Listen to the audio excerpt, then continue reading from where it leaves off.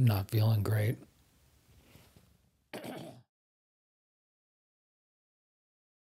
Hi, hello, welcome back.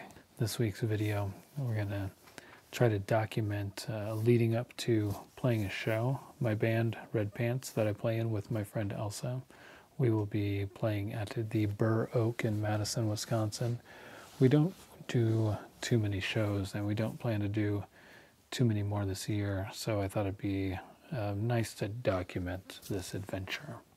I thought to kick off the video, I would go through my setup as the guitarist. I have two Jazzmasters that are the Squier variety. I recently picked up a Jaguar because I just wanted to back up in case a string broke or something, and I didn't like it. I don't know. I just love the Jazzmaster. The pickups do it for me, I guess. I traded in the Jaguar and got this one just just a week or two ago. Elsa and I practiced last weekend, so I got to try it out.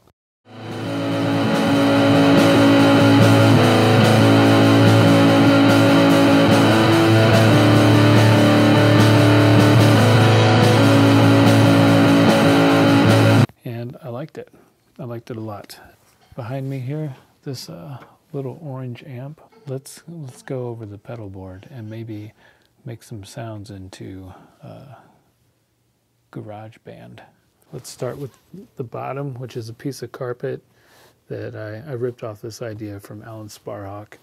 I love it because it's light and it was in my basement, came with my house, so I didn't have to do anything to uh, procure it and uh, just throw your pedals on there and go. Got the Boss tuner to the Zvex Fuzz Factory and then going into the this is a Moon Op Amp Fuzz by Keeley. I just got this like a week ago and it's awesome. I love it. It's I don't know any specifics about it, but I know that this switch makes it more just like a regular fuzz or distortion pedal, but if you kick it into the middle, it's like really dark and really heavy and doomy. and so I, I love it. Um, I'm really excited to experiment with that more in the future, but yeah, I'm going to use it at the show anyway. Um, then I'm going into the Red Panda Particle, and it's a delay pedal that kind of modulates things and chops things up kind of weirdly and that's also been pretty prominent on the last two Red Pants albums. And then this is the Bows, the sorry, by Earthquaker Devices. It's like a germanium preamp.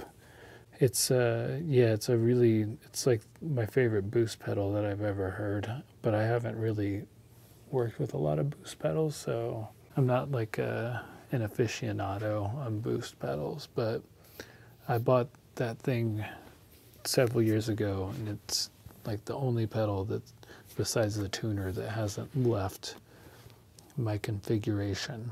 Let's go ahead and play through some sounds here, and then we'll take it from there. We are in open D, which is, I believe, a D, A, D, F sharp, A, and D. I've become a fan of Open D and Open G, and also on the last album, uh, Elsa and I both enjoyed a pavement. We call it the pavement tuning. I think it's D A D A B E, Dad Abe. We're in Open D today. Um, this has become kind of a, you know, we're more of a recording project, so playing live is uh, becoming a little bit weird with the tuning situation. So I am going to use two guitars. I think I'm going to have this one just in a standard tuning, and then um, and then switch to the red guitar for the open tunings. To the pedal board, the uh, Earthquaker Bows is always on. It never leaves my side. I love it. You'll maybe notice that the that it's last in the pedal chain, which is kind of new for me. I just I've been using tremolos a lot lately, and uh, also I was using the rat pedal a lot. I would notice that the, the volume would would dip considerably whenever I kick those on. So uh, I, I had the idea to actually move the the boost at the end of the chain, but then I'm not even using either of those pedals. But I still kind of liked the sound, even though it might be wrong. I don't really care as long as I'm enjoying it. I've had I've had the most success having the fuzz factory go into the the uh, the bows. I figured having the new extra fuzz pedal here would also benefit going into it. So that's what we're doing. Um, but we'll start with the particle delay.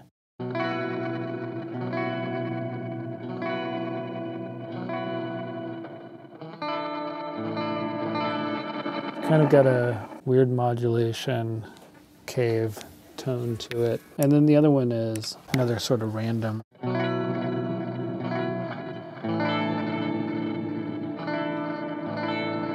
Those are my two sounds on that that I use. So this is the Fuzz Factory.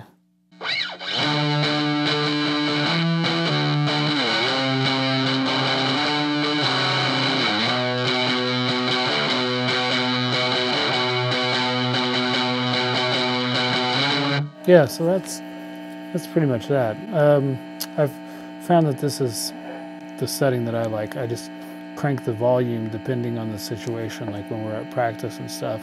This is the new guy, the Keeley Moon Op Amp Fuzz.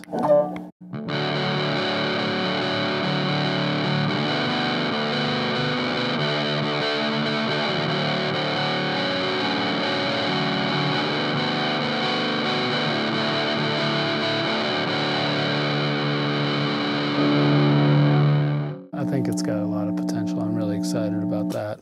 I think that's it for this evening.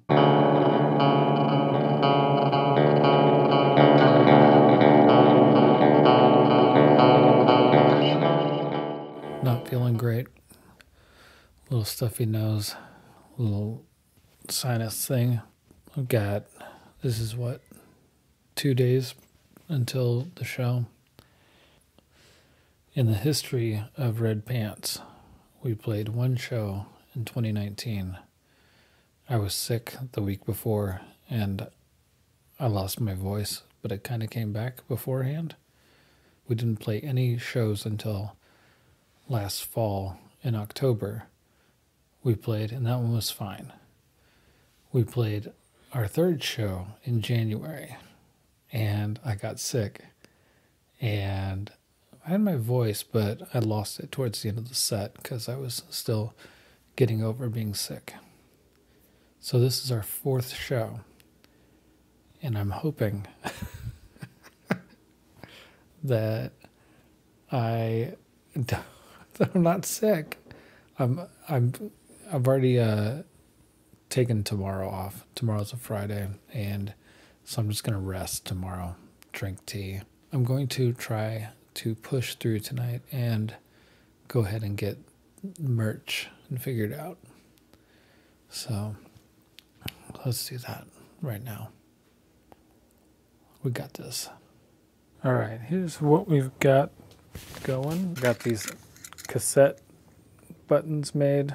People have been telling me to do something with this drawing for a long time in the way of merch, so so I did so I finally did that.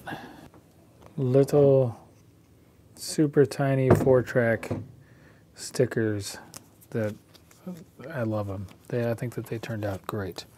So we got the records, buttons and and stickers, and then I dug out some tapes. I found a couple copies of uh, our album, our last album, and our last EP that came out in 2022. I knew I had copies of this. I just had to print the and make the J card. I'm gonna put what's left over up on the Bandcamp. So hopefully by the time I post this, there'll be a few copies of the cassette back up on Bandcamp.